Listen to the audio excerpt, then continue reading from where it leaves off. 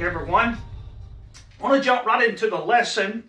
Um, I want to apologize. Last week, I did not get a chance to put a video on the um, YouTube that for this this this last week, and so I apologize for that. Some things come up. I, I first of all I left my tablet in my big truck, and I went to get back. I'm gonna go back and get it. Never did, and then some other things come up. So I apologize. Maybe I can make up a video, a short video or something. But good morning. Thank you for listening. Thank you for sharing. I want to give a message this morning. You know, we sometimes say, well, I, I said this first. I, I, I'm the first one that did this. Well, I want to bring a message entitled, here's the title, God said it first. God said it first. And, it, and it's actually settled, and we'll look at that verse from Psalms 119, verse 89, okay? Now, uh, we've been doing some memory verses also. We covered John 3.16. We covered John 14, 15. If you love me, keep my commandments. John 14, 15. And then today, let's go ahead and, and uh, look at Hebrews chapter 12 and verse number 2. First part of the verse, it says, Looking unto Jesus, the author and finisher of our faith, okay? He's the author and finisher of our faith that we have in Christ at salvation. And he's going to finish that salvation. And that brings me to my next verse in just a minute. But let's let's go over that again. Hebrews chapter 4, I'm sorry, Hebrews 12, 2. Sorry about that. Hebrews 12, 2 looking unto Jesus, the author and finisher of our faith. Hebrews 12, verse 2. Now, last time we did, when we give a video, I, we looked at a verse from Colossians. Now, on the video, it said uh, 4 3, but actually it's Colossians 3 4. I reversed the, um, the uh, chapter and verse there. It's Colossians 3 4, and it says this. This is not the whole verse, but I want to let's let's learn the first part of this verse. Colossians 3 4, when Christ, who is our life, shall appear. It's uh, that you can look at the rest of it, but let's just memorize this first part of this verse. Colossians 3 4, when Christ, who is our life, shall appear. Isn't that wonderful? Someone says, Well, what is your salvation? What is it? Christ. When Christ, who is our life, that's eternal life, shall appear. Okay? So Colossians 3 4, let's do that again one more time. Colossians 3 4, when Christ, who is our life, shall appear. Colossians 3 4. Okay, let's go ahead and get into the lesson this morning. I got my Bible right here turned op- open to Psalms 119, and that's going to be verse number 89, okay? Verse number 89. And let's read this together, or if you don't have your Bible, you can just listen. It's Psalms 189, and it's verse 89. Forever, O Lord, thy word is settled in heaven. Psalms 119, verse 89. That is a great verse because it tells us that the Bible, the Word of God, God's Word, was already settled in heaven before He ever created anything. That tells me that the Bible is already there, it's already proclaimed, it's already from everlasting to everlasting. That's God, and God is from everlasting to everlasting. His Word is from everlasting to everlasting. So, Psalms 119, verse 89 Forever, O Lord, thy word is settled in heaven. You can believe it or you can not believe it. You can say, Well, I don't believe that part. It's still true. Well, I don't know if this has happened or not. It's already happened. It's already settled. It's already, and everything that's coming to pass in the future is already settled. Now, we will clarify a verse about man's choice that God gave us, but that God overrules in the end. He rules in the end. We'll share that with you as we go down through here. So, number one, number one, if you're taking notes, if not, we're going to try to be as brief as possible on each one of these. They're not that long, and we're going to keep it around 30 minutes, Lord willing. All right, number one, number one. God is the first to claim that He is God. that is obvious. Now, you say, well, where's that at? First book, first chapter, first verse. In the beginning. Now, the beginning of what? Everything. In the beginning, God. Okay? In the beginning, God. And it's referring to creation. In the beginning, God created the heaven and the earth. Okay, now we'll share something else from Job about that in just a little bit as we go down through here. But number one, that's just so simple. He's the first to claim that he is God. The word God is in the plural there. It means Elohim. It means plural. The Father, the Son, and the Holy Spirit all are three in one. Elohim, plural. In the beginning, the Father, the Son, the Holy Spirit created heaven and earth. Okay? Simple. That is so simple. He's the first to proclaim. Okay? Number two, let's move right on down. He's the first to proclaim, and this is the second part of Genesis 1 1, the creation, okay? The creation. I want to read to you, let me go ahead and find it real quick. It's Genesis chapter 1 and verse 31. When he gets through with creation there, he goes and he looks and he said, And God saw that everything he made, that's creation, and behold, it was very good. In the evening and the morning were the sixth day. This is the end. The next day, the seventh day, he would rest, okay? But God created the heavens and the earth. He created creation. It's all here. Now, I said I'd share something with you from Job. Now, we have in our in our society evolution, we got everything you can imagine where this earth come from, how it came to be, where it came from, and we could we could go in some details about that, but I, I don't I don't want to do that. I, that's not something that really is is is is on the contrary. What does God say? But let's go to Job. Let's go to Job. We're going to see something that God asked Job. Job was asked a question in uh, chapter 38, okay? This is near the end of the book, okay? Now, Job uh, went through all the sufferings, we know that. But uh, at the end, he asked Job a question because he was telling Job, I'm in control, okay? And I don't think Job's looking back now in heaven and um, and and wondering why God did what He done. He knows now why God did what He done. Okay, with His sufferings and all I'm referring to. But Job 38, and let's just appeal to some of these people that say, "I know where creation come from." It evolved and all this. Um, got a question for them, the same question that God asked Job. Job chapter 38 and verse 4 Where wast thou when I laid the foundations of the earth?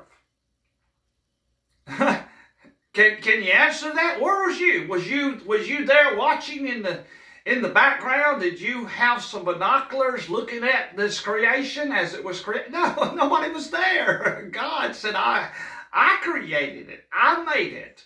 No one can say, well, I know that's where it come from. I was there. And he goes on to say, he says, declare if thou hast understanding. Nobody understands that. We understand by faith that the worlds were framed, and we see that in chapter uh, Hebrews chapter 11. We see that, okay? Hebrews chapter 12, too, I believe it is. But uh, verse 5, it says, Who have laid the, the, laid the measures thereof, if thou knowest? Or who have stretched the line upon it? In other words, who can declare? Nobody was there. Uh, some people obviously think they were there. They, they wasn't there. So God is first to proclaim that He's God, Elohim. He's the first to claim that He created everything, which He did. Okay, that, that's so simple. And then the next one, He's the first to proclaim eternal life. Okay, now that's what everyone wants eternal life. We don't want to die physically on this earth, but we sure want to live forever after this life. He's the first one to proclaim it. Now, this would be in Genesis chapter 3. And you remember by this time Adam and Eve both had ate of the fruit, tried to cover themselves with fig leaves. God called them out, judged them. But he gave Eve a promise. He said there's going to be a seed to come from the woman. And, and that seed will crush the head of Satan. Okay? Of Satan. So there's the first promise that he's going to destroy evil. Okay? In John 8 44, he says, You're of your father, the devil. He was a he was a murderer from the beginning. This this all God's going to destroy evil. He's going to destroy death, and we'll get to that later, a little bit later on. But there's another verse that maybe next week or the next couple of weeks we'll memorize. It's it's this Titus 1 2. Listen to this verse. It says, In hope of eternal life. Now, that word hope is not like today, our hope. Well, I hope it happens. No, this was a confidence. This is confidence in the King James Version of the Bible that we so love and so dearly. It means confident, in hope of eternal life, which God that cannot lie promised before the world began. He promised eternal life before the world began. You say, well, how, how, can God do? He's God. He knows the past. He knows the front. He knows the back. He knows the up, down. He's already, it's already settled. Forever, O Lord, thy word is settled in heaven. It's already settled. He already plan, he already knows what was going to happen. He already had the plan of eternal life in mind, and he already promised it. Listen to it again. Titus 1 2, in hope of eternal life, which God that cannot lie promised before the world begun. He promised to anyone that would trust his Son, the Lord Jesus Christ, he would promise them eternal life, and they can have eternal life. I have eternal life. I have trusted Christ, and therefore, he says, you have eternal life, and, and a person can have eternal life. So, moving right along, he's the first one to proclaim or to control everything. Okay? Now, we're going to have to balance this out because someone is going to say, well, wait a minute. Why is there so much evil on the earth? Why is there so much going on that, that, that God's not the author of evil? No, He's not. Of course not. Of course not. He's not. Well, how do, how do we how do we balance this out? Let me try to do that with the scriptures, of course. Now, Proverbs chapter 16 and verse 9. First of all, let me say this. I don't understand the wisdom of God, the power of God, the understanding from the beginning to the end. But the scripture says that's why we are to live by faith, believing that God will do right. He will do right and work it out to His plan. God's got a plan that we don't understand. It's far beyond our comprehension. But that's why the Bible says trust in the Lord. That's why the Bible says faith pleases God. Faith to come to Jesus Christ for salvation and faith to live a Christian life. God's got it all in control. He's got it all planned out. So listen to this verse and we'll try to balance this out. Proverbs 16, verse 9. Proverbs 16, 9, it says this A man's heart deviseth his way, or her way, okay?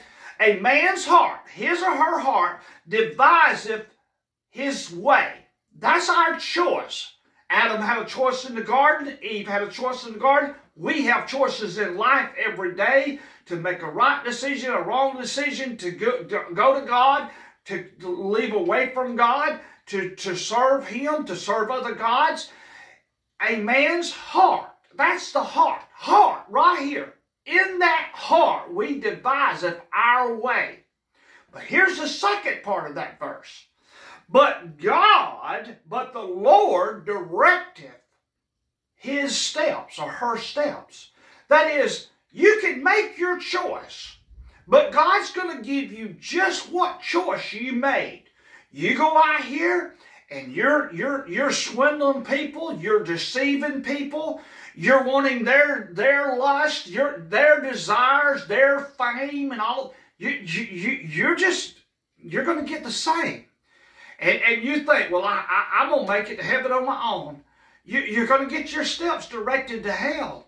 Because God said, Jesus said, I'm the way, the truth, the life. No man come to the Father but by me. You can make your choices. People's making their choices every day against God. Some making their choices for God. Some's leaning that way. Some's heading that way. That's fine. Some's heading back away. God, some's already way back in the left field. God says, you make the choice, but I'm going to direct your steps. There's the balance. We have a choice, but God's going to direct the steps. And He said, whatsoever you sow, if you're going to reap, whatever it is. You trust my son, you have eternal life. You don't trust my son, you don't have eternal life. You have eternal damnation of hell facing a person.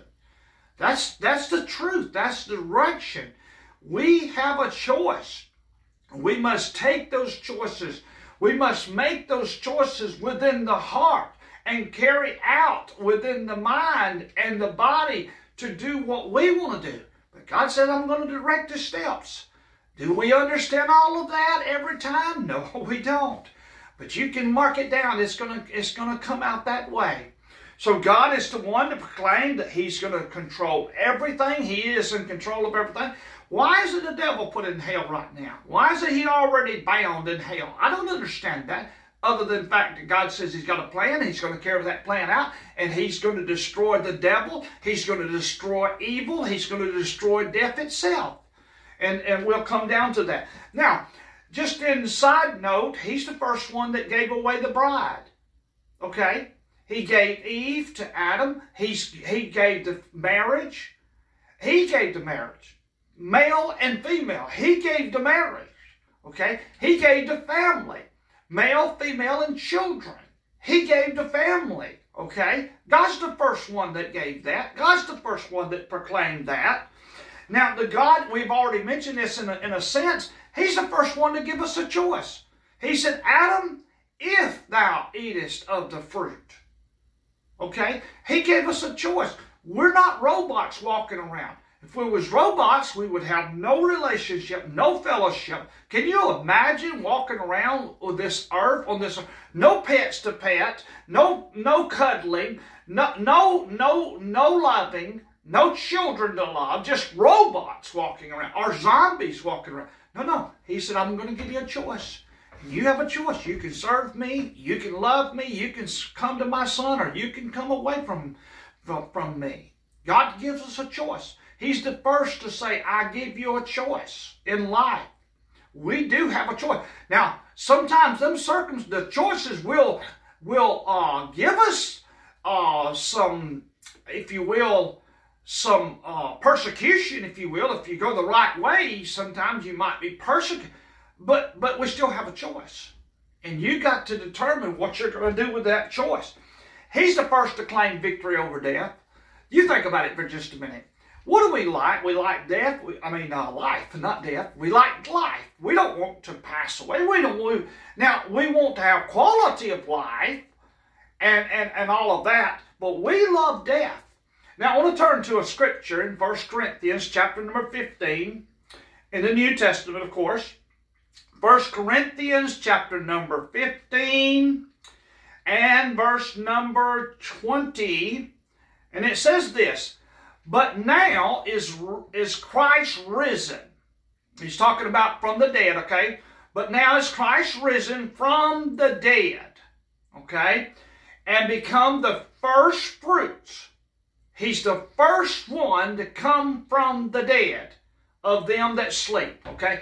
He's the first one. Someone says, well, wait a minute, I thought Lazarus, Lazarus was, was, was not dead in the sense, he revived him, okay? In the Old Testament, there was some that come back from the dead. He revived them. But Christ died. He was dead. He's the first one to come back from the grave. He's the first one.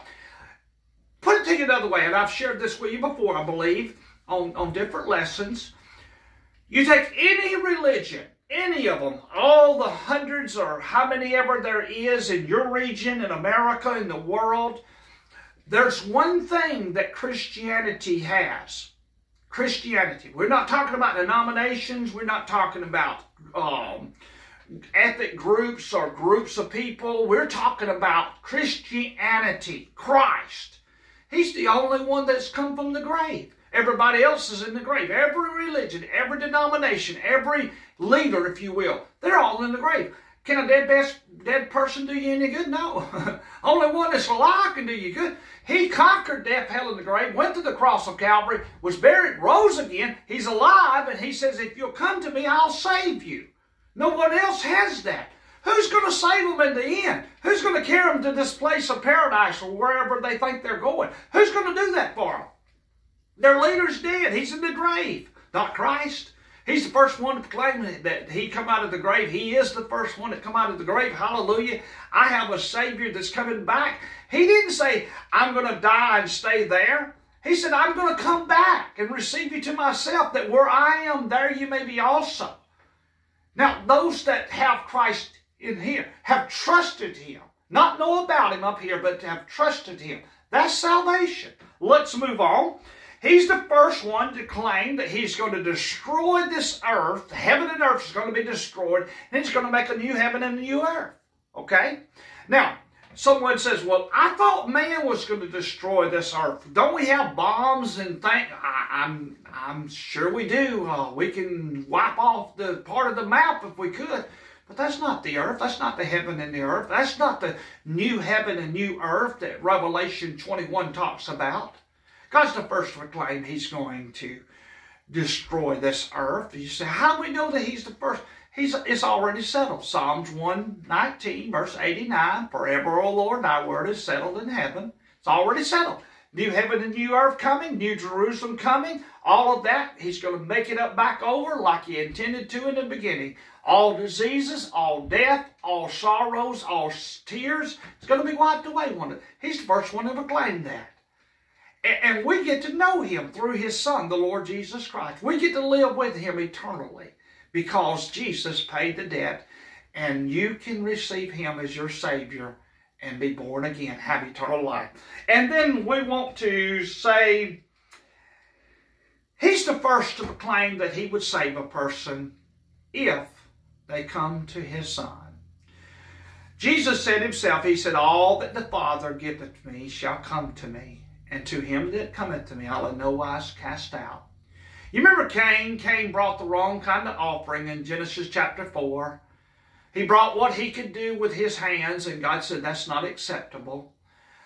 But if thou doest well, if you go, go and repent, turn back to me, and bring a blood sacrifice pointing to my son that would pay the debt, pointing to me that I would pay the debt on the cross of Calvary in the future, uh, Cain, you, you will be accepted.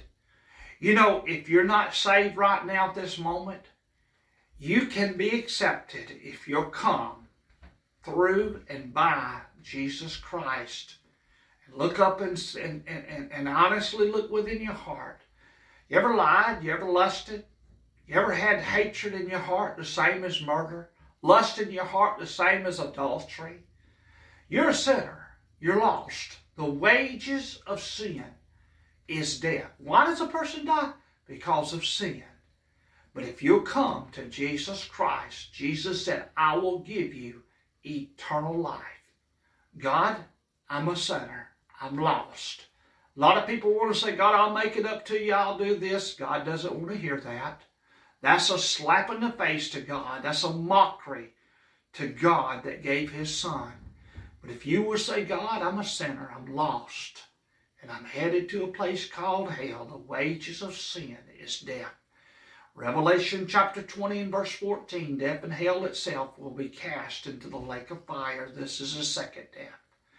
But if you will humble your heart and say, God, I choose to turn back to you. I believe you sent your son, the Lord Jesus. I can't undo what I've already done, God. But I say, God, I'm sorry. And I turn back to you through your son. I believe you sent your son, Jesus.